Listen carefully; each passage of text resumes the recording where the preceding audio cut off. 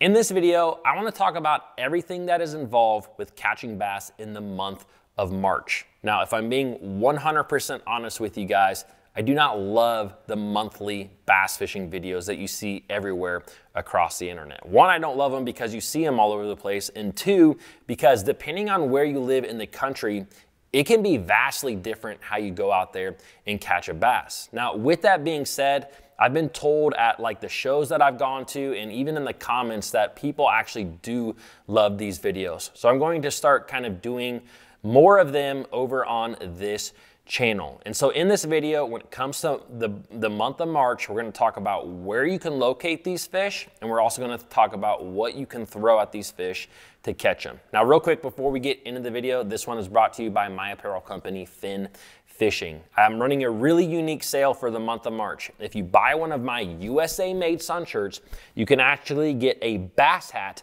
for 50% off. The bass hat that comes with a wooden patch right here. So buy a USA made sun shirt, get the hat for 50% off. All you gotta do is add the, the sun shirt that you like to cart, add the hat that you like to cart. It will automatically discount at checkout and it really helps support this channel. All right, let's talk about the month of March. And the biggest thing that I want to talk about on the front end is what does March actually look like for where you live in the country. Now, if you live up north, you know, and even in the Midwest, you're dealing with a lot of very cold end of the winter type conditions. You know, this this particular year is a little bit different because we've had warmer weather like across the US and even in places that usually are really frozen up still for like another couple months are not frozen. Places like Minnesota and Michigan, like a lot of these places don't even have ice on them right now. So the cool thing is that a lot of those anglers, those northern anglers who haven't been able to fish in the month of March before because, well, they haven't been able to open water fish anyways, they can actually get out there and do a little, little bit of fishing. And, and if you're living in the Midwest, you know, kind of like where I live in Ohio, this is a big transition month because at the beginning of March, we're usually dealing with, you know, coming out of winter. And by the end of the month, usually we're like into the pre-spawn. Now, as you work your way down south, you're going to run into a lot of states that are dealing with late winter pre-spawn uh, or early pre-spawn type conditions. And then if you get way down south, you're gonna have fish that are on beds. So that's what it kind of looks like throughout the US right now. So with that being said, the two main things that you're gonna see is late winter bass, pre-spawn fish, and fish that are on beds. And that, and so I'm gonna talk a little bit about each of those in this video. So hopefully I can kind of hit on what, whatever you're experiencing right now. So for me, you know, we're dealing with kind of this late winter stuff. So one of the biggest things that I like to look for when it comes to late winter fishing is really clear water. Is eh, not really clear water, is is is clean water. I want to find typically water that is a little bit cleaner because when I am fishing in water temps that are 41, 42, 43, anywhere in the 40s, the cleaner water tends to help you to get a couple more bites than that muddier water. Now, later in the day and later in the month of March, I will really start to seek out muddy water. When, when, the, when the water temps start to get into the 50s, mid 50s, you know, later in the day, we, I just talked about this in another video, that's when I really like to seek out muddy water because I have found a lot of times that muddy water will position really big fish that don't normally bite in really shallow water where you can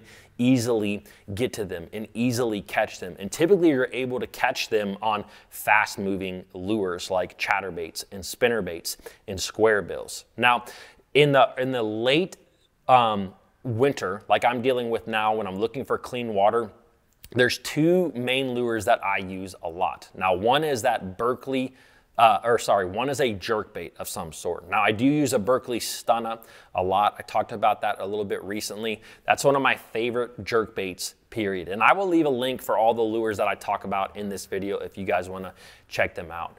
And another bait that I use a lot this time of the year is a blade bait. If you are able to fish a blade bait, I mean, I mean the coldest water that you will experience you can catch them really well with that blade bait. And you're gonna cast that bait out, you're gonna let it fall to the bottom, you're gonna work it really, really slow.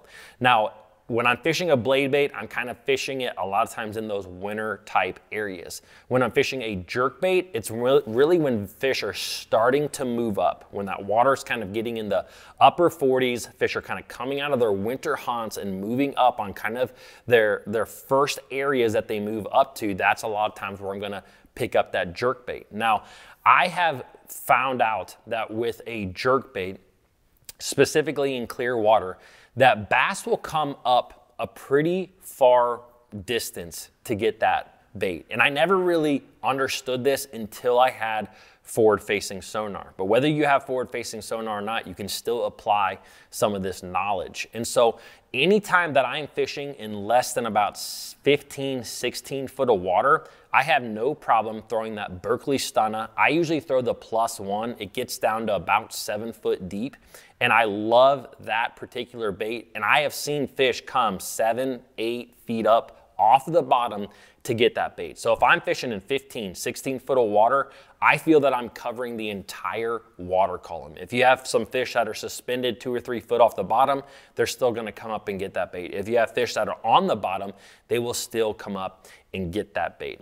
So that's, I use a jerk bait a lot this time of year. I'm gonna, I'm gonna count it down or I'm gonna reel it down. I'm gonna pop it a couple times, usually very softly, and then I'm gonna let it sit. And I, usually I'm gonna count while I let it sit to see how long it is before a fish hits it. Because sometimes they, they, they're gonna wait before they hit it. They're gonna wait two, three, four seconds. So another great bait is simply a Ned rig. A Ned rig is, I mean, it's, a Ned rig is great no matter what, but it's also, but it's a very good cold water bait because it's simply so small. There's nothing to it. It's just like a little French fry down there. When the bass are kind of cold and coming out of their winter, not that they get cold, but then when they're very lethargic and they're kind of coming out, I think that that little Ned rig um, is just a bait that that is just an easy meal for them. They don't have to they don't have to work too hard to get it. As a matter of fact, last year the very first fish that I caught in March, as a matter of fact, I didn't even think about this, was on a Ned rig. So a Ned rig is always a great one. Now I want to talk a little bit now about the pre, like really getting into pre-spawn. Now, pre-spawn to me a lot of times is is going to depend a little bit on the the moon. It's going to it's going to depend a little bit on the length of day. Uh, a lot of times this is water temperatures that are getting kind of into the upper 40s to 60. You know, this is, you know, a, a big range, but it's, it, this to me is one of the best times of year to go out there and go fishing because you can catch fish that are staging that are schooled up, getting ready to push up to spawn. You can catch fish in really shallow water that are actually kind of looking and seeking beds. So it's just a really fun time of year to be out. And if I'm being 100% honest with you, you can catch them on so many different lures during the pre-spawn. So many different lures. The biggest thing that I like to do is use moving baits during the pre-spawn because bass bass do know, especially the, the, the, males and females, they know that they're not going to feed for a while, especially male bass. Male bass do not eat while they are guarding eggs and guarding fry. And so that can be a several week long period.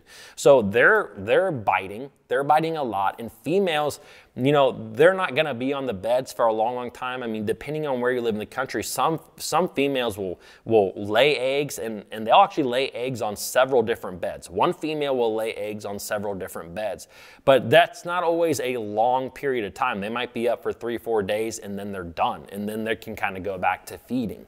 But there are times where they, they are in, in shallow water and they're not feeding for over a week. And so it, during the pre-spawn, I like moving lures. I like bright colored lures. We've talked a lot about that. Your reds, your pinks. These are great times of the year to use this particular color. And I like to just incorporate it in a lot of the baits that I throw. You know, one of my absolute favorite baits is a spinner bait, a good old spinner bait. You know, uh, a, a chatterbait is another phenomenal one. Um, a lipless crankbait is another great one. Um, and guys, there's so many different brands that work with all these these particular baits. You know, there's no one certain brand that I'm always going to, except for I do like a jackhammer chatterbait. It's just something that I've gone and, and fished a whole lot. Um, i also do like the Berkley Power Blade. That spinner bait to me is one of my favorites right now. Um, if I'm if I'm using a, a single Colorado blade, um, I do like the Booyah spinner bait as well. The Booyah Covert Series spinner bait. The ones there's one that has a red head on it, and I'll leave it like down below as well. I really like that particular bait a lot in that pre-spawn. And with those baits, a lot of times I'm just concentrating on shallow cover. I'm looking for grass beds that are outside of spawning flats. I'm looking for stumps and, and, and brush piles and laydowns and docks that are really close to these spawning areas because a lot of times those last pieces of cover are going to be where these fish kind of push up on and kind of wait. They kind of stage before they actually go up to spawn. So those are the those are the lures that I absolutely love to throw. Now, there is one bait, you know, like I said, I typically am throwing moving baits a lot. Um, this is also, oh my gosh, I can't believe I forgot this. This is one of the best times to go throw those big swim baits. This truly, truly is. If you guys have not gotten into swim bait fishing, this is a time that I highly suggest it because the fish are a, a lot more committal during the pre-spawn. They the, during the during the post spawn is also can be really good, but during the summer, you know, sometimes guys they, they start to read up on techniques and start to get into bass fishing in June in May and June. And sometimes that really big swim bait bite starts to die off a little bit in May and June. But anyways, during the pre-spawn, man, six inch mag draft swim bait. Ugh, you gotta throw it. Throw it in the exact same places that you threw your spinner bait and your chatter bait. Instead of throwing those baits, even though I just talked about how they are good ones, throw that mag draft instead. I'm telling you, you will be addicted once you start catching fish on it. It is so much fun. Another good one is the, the Berkley CullShad. I have just very little experience with that bait though right now, so I'm gonna do a full review on some of the, the six inch style swim baits here and on the Bass Fishing HQ channel and probably the next I don't know, week or so.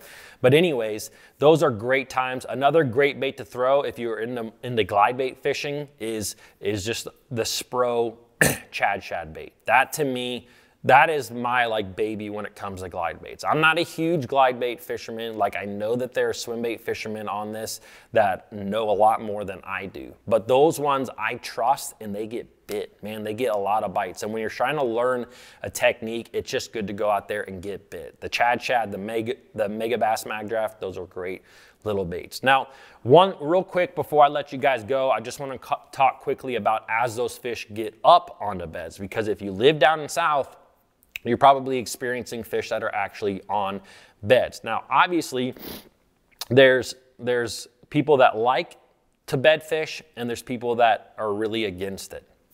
You know, and if you look at I've looked at a lot of scientific data on this and it's a little bit all over the place if I'm being 100% honest, honest with you. There's a lot of fisheries where catching bass on beds, I'd say the majority of fisheries, it does not hurt the bass population in any ways. And, and you gotta, and the thing that you gotta remember, this is actually why female bass spawn with multiple mates. Well, they don't know this for a fact, but this is what they believe because the female, they go up, they spawn with multiple males because they think that they know that one of those males might just not do his job, right? One of those males may not guard the fry and the eggs the way that it's supposed to. So they'll spawn with multiple males so that so that they, the likelihood of their eggs hatching and surviving go up. Now, with that being said, they will drop thousands and thousands of eggs and literally it is it's under a percent it's it's a very small amount that even survive to, to adulthood and so that's why catching a bass off of a bed in a lot of fisheries it doesn't really matter because even if all those eggs got eaten in the in the few moments while that fish is off the bed by a bluegill or, or, or something like that it's, it's not going to make a big difference in the long run, if that makes sense. So, anyways, with that being said, there also are a few um, particular bodies of water, smaller bodies of water, maybe not high as um, bass populations, uh, ones that have gobies in them. You know, lakes that have gobies, if you take those, those fish off of the um, off of the bed, those gobies will completely kill those eggs in like no time. Now, the on the flip side of that statement is that most of the fisheries that have gobies in them, at least right now, are like Great Lakes region. And most of those fisheries have billions of bass on them. So if you catch one five pound smallmouth off of a bed in Lake Erie, it's not gonna do anything. Okay? So, anyways, I'm just trying to say that when the fish go up and, and, and start to bed, some people like to fish for them, some people don't. I love bed fishing. And I'm gonna do a full video at some point on this video, on this channel about bed fishing. But when you can't see them, you'd be surprised at how many bass you still are catching on beds. And, I, and I've never really understood um, I've never understood guys who are really against bed fishing, but they still go and fish during the spawning season because a lot of times the fish that they catch just flipping and pitching around, those fish are on beds. So it's not like, you know what I'm saying? Like they're, they're still catching fish that are on beds. They just can't visibly see them. So anyways, a lot of times plastics are gonna be the deal. I've gotten a lot into fishing a Neko rig, you know, just a round cover and just really dragging it slow through this time of the year. You know, a round cover that I think bass could be potentially spawning on. A Neko rig, usually I'm using a robo worm, a six inch fat robo worm, worm, margarita mutilator, one of my favorite colors. And that's a great little bait to throw a little bit of anywhere and you're gonna catch a lot of bass. Also, your standard wacky rig. So guys, I hope that you enjoyed this video. If you are still here, please let me know down in the comments if you like these videos or not. And I will see you guys tomorrow.